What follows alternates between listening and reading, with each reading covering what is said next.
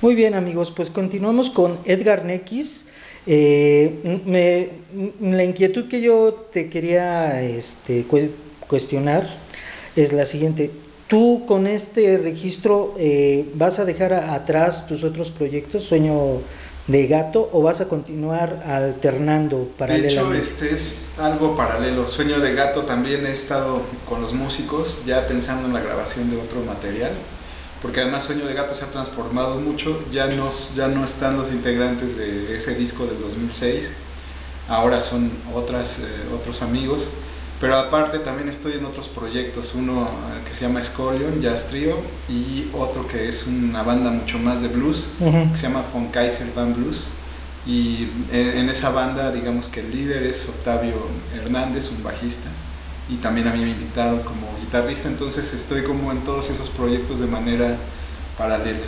Ah, mira, o sea que ha sido un 2015 con mucho trabajo. Yo a ti te, te, conocí eh, apoyando unas funciones de danza eh, teatral o cómo se diría, danza del espacio. Exactamente, eran especie de performance donde estaba involucrada eh, las artes visuales la danza, la música, la palabra, porque eran sobre textos de Octavio Paz unos y otros sobre un texto eh, de una persona que lo hizo para un proyecto que se llamaba Tejiendo Resistencia. Y era porque ahí me invitaron en, eh, en una cuestión interdisciplinaria y también a mí me gusta mucho participar en eso. Es, los retos creativos son muy estimulantes para mí y sobre todo cuando veo que tienen alguna propuesta quedar, entonces me trato de involucrar también ahí al máximo. Ah, muy bien, muy bien. Y, y, de alguna manera estaba esta expresión de la improvisación que te da el jazz, ¿no? Exactamente, sí. En aquel momento era estar eh, musicalizando al instante los movimientos, las intenciones, las expresiones y la palabra de, de lo que se representaba en esos textos y pues yo tenía que involucrarme con la música y dar unas atmósferas de acuerdo a lo que me presentaban ahí. Entonces era, era un reto bastante fuerte, pero me gustó mucho participar y yo espero también seguir con ellas en, esos proyectos. En esos proyectos, ah, muy bien. Y bueno, de hecho, este, esto que les estamos comentando, hay una probadita en Neorama, con, en donde Edgar Netkis está tocando la guitarra y de hecho ya nos habías dado una entrevista previamente. Sí, así es, sí, lo recuerdo mucho ahí en el Ágora. Y este, estaba yo tocando y Lluvia Barrera estaba eh, con la cuestión de la danza y leyendo el texto. También un bailarín que se llama Fernando. Muy bueno, por cierto. Sí, eh, en, en, ese momento es lo que te comentaba, todo fue surgiendo. O sea, tenemos la idea, tenemos como la estructura, pero a la hora de presentarlo hay que dejar ahí la, la intuición y la creatividad y en ese momento creo que sí logramos conectarnos tanto el texto como la música y como la danza. Ah, muy bien, muy bien. Y bueno, la, la pregunta, eh, retomando tu grabación, sería, eh, ¿por qué fusión? No tanto el sentido que se dio de, de fusión latino y setentero, pero eh, porque la fusión tú sí la traes. ¿Por qué fusión? Yo, creo, fusión. yo creo que ya el bagaje personal es lo que influye aquí. Yo crecí, por ejemplo, mi papá escuchaba mucho son cubano. Yo en un momento estudié son cubano aquí con Luis Ángel Silva Melón en unos cursos que dio en el Centro Nacional de las Artes y conocí músicos de ese, todavía me tocó conocer a un músico que se llamaba eh, Julio y al otro músico pianista Luis Martínez y el maestro Julio tocaba en las orquestas de Pérez Prado, ya era una persona muy mayor, pero nos transmitió mucho conocimiento y todo su amor por el son. Entonces yo empecé a involucrarme ahí, no era nada de jazz, pero a mí todo eso me gusta. Me gusta la guitarra clásica, me gusta la música también clásica.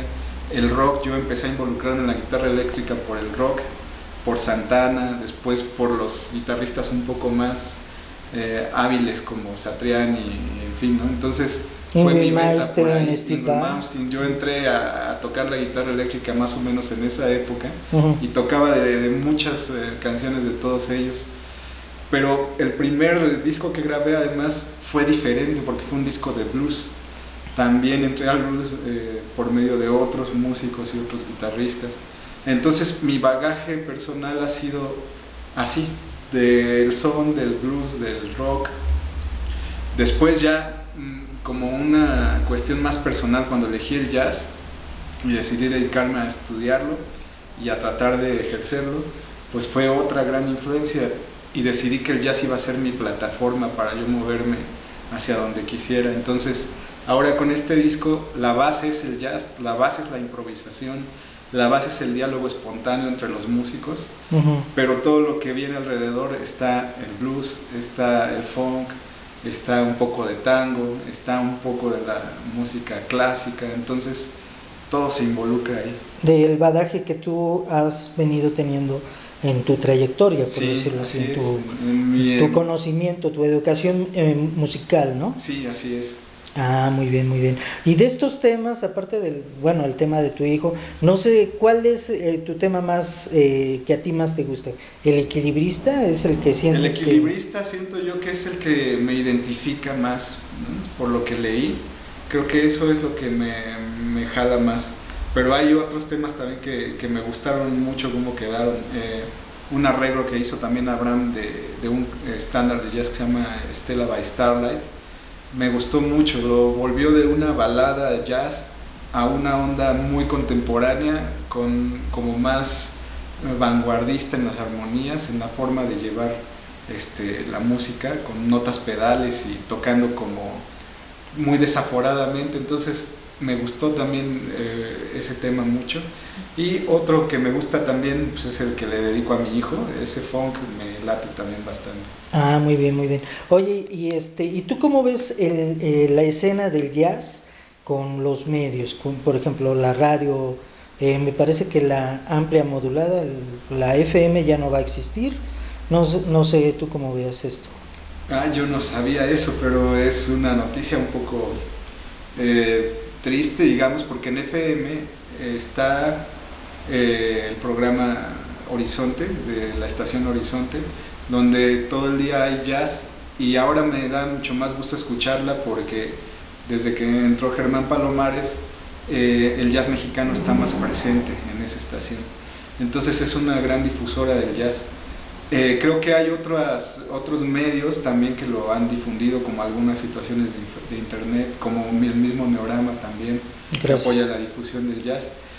Y también creo que eso es lo que ayuda a mantener a un músico de jazz, porque nosotros difícilmente vamos a estar presentes en la televisión comercial, esporádicamente llegan a aparecer algunos compañeros en programas, pero no es tan común.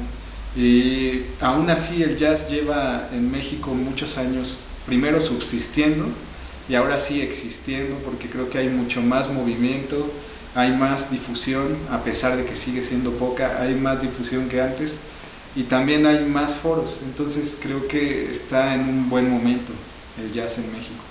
Ah, muy bien. Oye, ¿y el disco físico en dónde es factible que se pueda conseguir? ¿En, las librerías, en las tiendas? En eso ahorita estamos trabajando con Fonarte, lo pueden adquirir solicitándolo a Fonarte o en mi página también me podrían solicitar el disco y yo con gusto también se los entregaré. Ah, muy bien. Eh, ¿Me puedes decir algún estimado de...? Eh, está en descarga en 120 y es lo mismo que va a costar en la cuestión física. Ah, perfecto, perfecto. Y bueno, pues sería padre que, te busquen porque así ya va con la rúbrica de, del autor. Ah, claro, sí. De hecho, si nos pueden acompañar a los conciertos sería mejor, estarían escuchando la música en vivo y pues ahí también estaremos para, para firmar cualquier cosa de, los discos.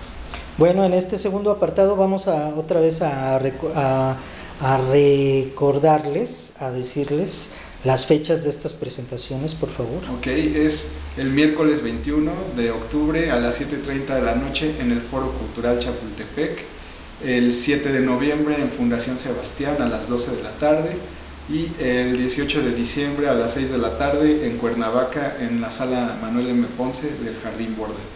Ah, muy bien. Oye, pues algo más que quisieras agregar que digas, Neorama ya me dijo esto y ya me dijo aquello, pero se le está yendo ¿Esto que es importante que sepa? Pues yo creo que lo importante es en esto de la música y del jazz, a veces hay, hay veces que hay cierto recelo porque decimos el jazz como si fuera una música un poco más compleja, a veces sí lo es, pero no significa que no sea agradable de escuchar o que no tenga elementos que podamos disfrutar.